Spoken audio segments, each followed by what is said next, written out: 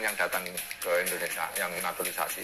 Tapi harapan kita prestasi tadi.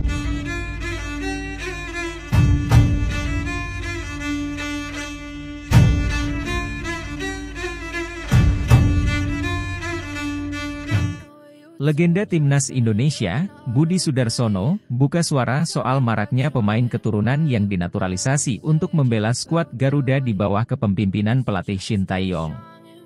Saat ini, Timnas Indonesia sudah memiliki beberapa pemain keturunan yang menjadi WNI, seperti Elkan Bagot, Jordi Amat, Sandy Walsh, Shane Patinama, Ivar Jenner, hingga Rafael Struik.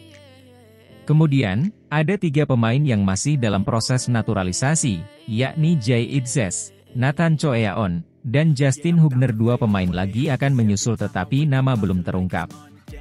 Budi Sudarsono yang melihat fenomena itu merasa tidak masalah. Namun, harapannya kehadiran mereka bisa melebihi prestasi timnas Indonesia di masa lalu.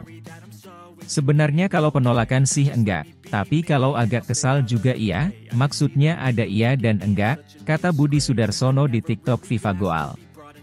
Karena menurut saya, yang pertama naturalisasinya terlalu banyak, tapi untuk yang lain sebenarnya kita enggak masalah naturalisasi, lanjutnya. Yang penting ada darah Indonesia, itu enggak masalah, yang penting itu prestasinya melebihi kita, mau main di negeri ya, enggak masalah, yang penting prestasinya di atas kita, tuturnya menambahkan. Menurutnya, prestasi timnas Indonesia yang sekarang belum istimewa lantaran sudah pernah dicapai semua di era lama, seperti runner-up Piala AFF hingga lolos ke Piala Asia.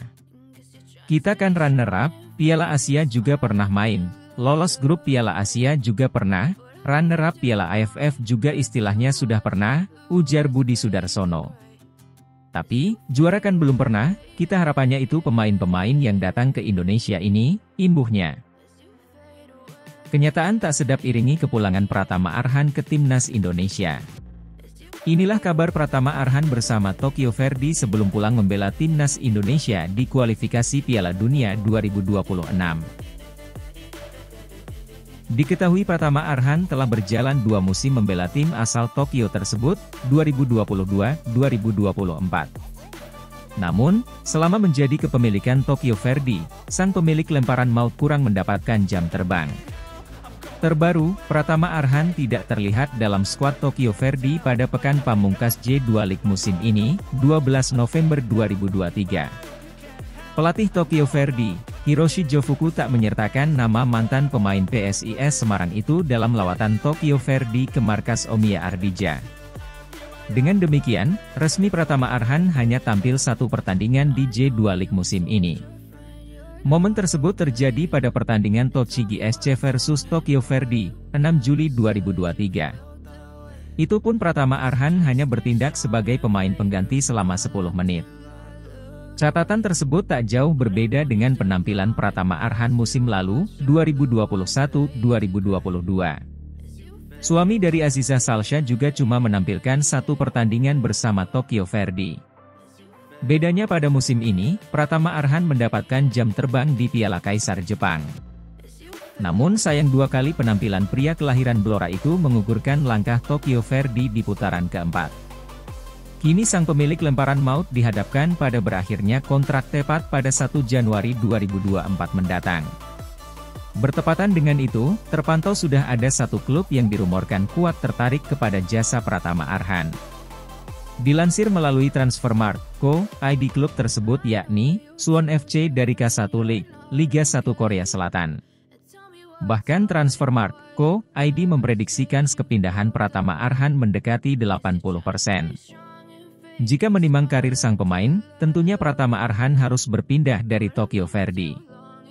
Dengan harapan mampu mendapat jam terbang yang lebih konsisten. Seperti yang diketahui, kematangan seorang pemain dibuktikan saat menjadi sosok inti di level klub. Jika hal tersebut tidak diraih oleh Pratama Arhan, maka dapat menghilangkan sentuhan terbaiknya. Hal ini tentunya sangat berpengaruh kepada level permainan di timnas Indonesia. Pratama Arhan harus mampu berjuang di level permainan klub Abroad supaya mengasah kematangan untuk membela timnas Indonesia. Dengan umur yang masih menginjak 21 tahun, terbuka lebar jalan karir Pratama Arhan di Timnas Indonesia. Pratama Arhan dapat mengisi skuad senior untuk Piala Asia 2023 pada awal Januari 2024. Ia juga dapat mengisi skuad U23 untuk Piala Asia pada April 2024. Adapun Pratama Arhan juga dapat mengisi beberapa agenda yang belum ditentukan, seperti Piala AFF 2024 hingga SEA Games 2024. Namun hingga detik ini, yang dapat dipastikan ialah untuk agenda terdekat Timnas Indonesia. Di mana Pratama Arhan masuk dalam daftar 27 pemain untuk membela Timnas Indonesia di kualifikasi Piala Dunia 2026 Zona Asia Ronde kedua. Pratama Arhan menjadi amunisi Shin Taeyong untuk melawan Irak hingga Filipina di kualifikasi Pildun 2026. Diprediksi sang lemparan maut bakal bergabung dalam waktu dekat dengan skuad timnas Indonesia, pasalnya agenda level klub juga telah off. Kualifikasi Piala Dunia 2026, timnas Indonesia berangkat ke Irak, hanya boyong 16 pemain. Timnas Indonesia berangkat menuju Irak untuk melakoni pertandingan babak kedua kualifikasi Piala Dunia 2026. Timnas Indonesia berhasil melaju ke putaran kedua kualifikasi Piala Dunia 2026 setelah mengalahkan Brunei Darussalam. Timnas Indonesia berhasil menghancurkan Brunei Darussalam dengan agregat gol 12-0. Masing-masing tercipta pada leg pertama dengan skor 6-0, dan leg kedua dengan jumlah sama yakni 6-0. Kemenangan tersebut memastikan timnas Indonesia melaju ke babak berikutnya. Pasukan Sintayong akan berkompetisi masuk jajaran grup F pada putaran kedua kualifikasi Piala Dunia 2026 zona Asia. Dalam jajaran grup F, Indonesia akan berhadapan dengan Irak, Vietnam, dan Filipina. Seluruh tim akan saling bertemu dalam dua leg yang berlangsung mulai tanggal 16 November 2023 hingga 11 Juni 2024. Dua tim teratas dari masing-masing grup akan melaju ke putaran ketiga kualifikasi Piala Dunia Zona Asia. Keberangkatan timnas Indonesia menuju Irak dilakukan pada Minggu, 12 November 2023, dini hari waktu Indonesia Barat.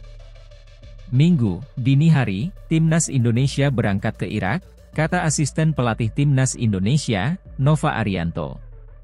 Menurut jadwal, timnas Indonesia akan menghadapi tuan rumah Irak di Basra International Stadium, Irak, pada Kamis, 16 November 2023. Dalam rombongan pertama, hanya 16 pemain yang berangkat, sedangkan sisanya akan menyusul karena masih memiliki komitmen dengan klub masing-masing. Sebelumnya, PSSI telah mengumumkan pemanggilan 27 pemain untuk mengisi skuad timnas Indonesia dalam kualifikasi Piala Dunia 2026. Namun berdasarkan jadwal Liga 1, terdapat empat pemain yang masih memiliki pertandingan dengan klubnya. Untuk rencana sementara, dua pemain bakal terbang ke Irak setelah pertandingan pada Minggu, 12 November 2023.